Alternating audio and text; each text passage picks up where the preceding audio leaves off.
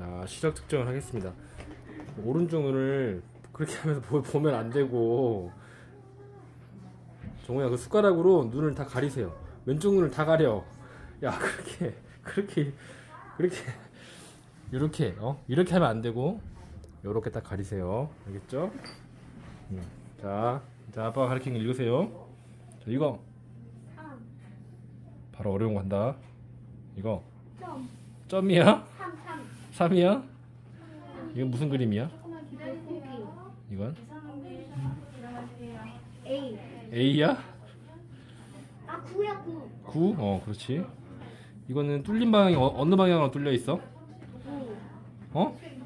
동그라미. 동그라미인데 어디 방향이 어디 어디 쪽이든지 뚫려 있어. 위, 아래, 좌우 어느 쪽으로 뚫려 있어? 위. 어, 위가 뚫려 있어. 이거는 어느 방향에 뚫려 있어? 여. 음, 옆이 어느 어느 옆? 왼쪽, 왼쪽. 어, 왼쪽 그렇지. 이거 무슨 글자야? 이거 치. 시. 어. 쪽 뭐야? 이거 이. 오. 이건 뭐야? 삼. 그렇지. 오, 1.2. 이거는 무슨 방향? 어, 오른쪽 방향. 오른쪽 방향에 뚫려 있어? 아, 위. 어, 위가 뚫려 있어? 너 보면 안 돼. 야, 양눈으로 보면 안 된다니까. 너. 어, 보면 안 돼. 알았지? 안 보인다고 양눈으로 보면 안 돼. 어.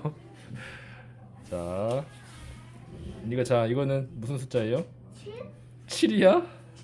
아, 나도 안 보이네. 이건 무슨 글자예요? 무슨 숫자예요? 일. 아, 정우의 시력은 1.2. 1.2야?